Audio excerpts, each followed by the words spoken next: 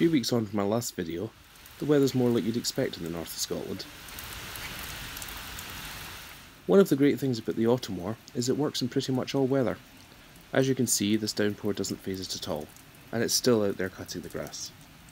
Unlike a conventional lawnmower, it doesn't tend to get stuck in wet grass, nor does it churn up the ground leaving a muddy mess. It just works as normal.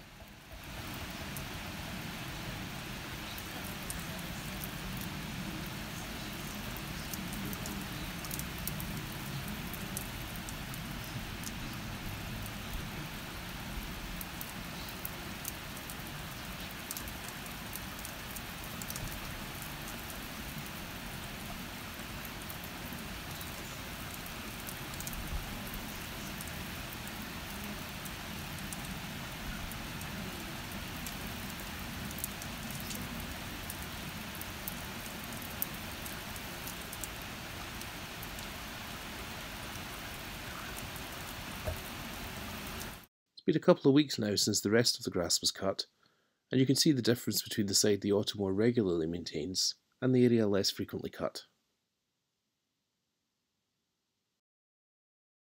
Thanks for watching, and thanks again to Husqvarna and MacGregor Industrial Supplies.